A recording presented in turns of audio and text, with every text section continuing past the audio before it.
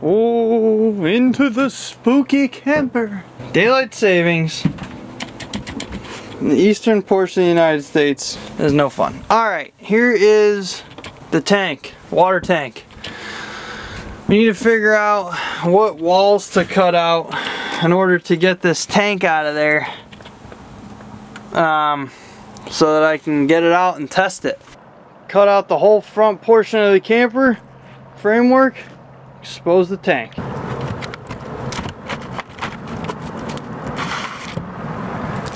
There she is. Freshwater tank. For length we have, let's call it 33 usable inches. Width is 11, let's call it 11. Height is, let's call it 17. So 33 times 11 times 17 equals calculator 6,171 cubic inches. And the formula to get gallons out of that is divide that by 231 26.7 gallons. It was probably advertised as a 30 gallon tank but that's the calculation. Let's see if it leaks. Assessing the tank got it all cleaned up this is the main fill this is the vent there, there's no problems up there. They're not going to be underwater. Here is the configuration for the fittings that was on, on the bungs of this tank. So this is a 3 8 these are both 3 8 MPT threads. This ball valve is broken and it also leaked at the you know connection here. They had pipe tape on there so it was obviously a problem. This was the 90 elbow which also leaked out of the fitting. So trying to figure out what I'm going to do here. I purchased a new elbow which seems to go in nicely so we're going to tighten that up see how that goes. That's to feed the pump. This is for the ball valve just for the drain. I have a 3 8 um, MPT to male to barb fitting that I heated up some half inch PEX and just shoved it over it. And then I have a half inch PEX ball valve. We got the next filling station. It's not the black tank for all you people that remember that. Now we're working on a fresh tank.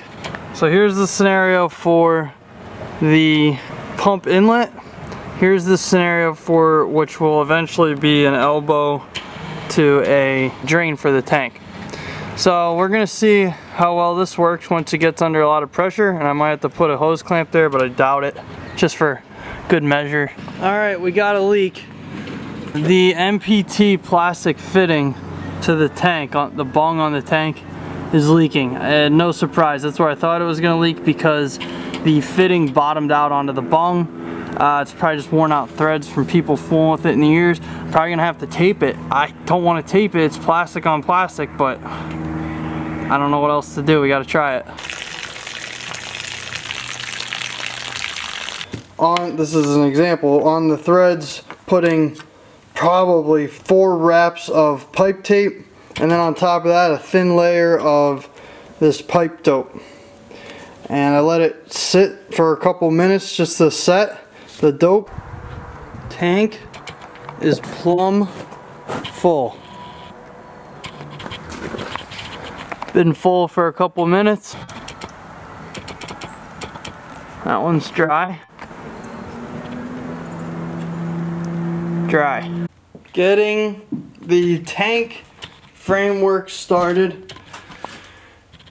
Just putting down some some uh, couple pieces there to keep it in place.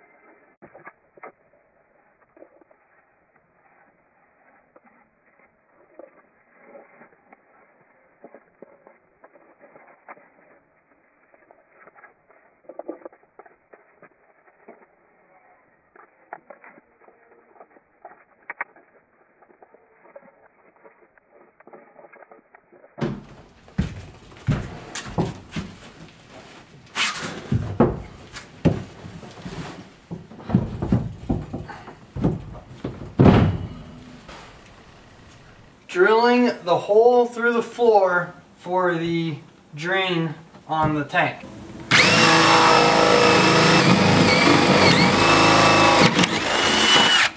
So now, this piece is gonna go on here. Just like that. And there's your drain. Here is the tank installed with the pump. There's our little gauge there, sight gauge for the level. Got the first, obviously this wall in here.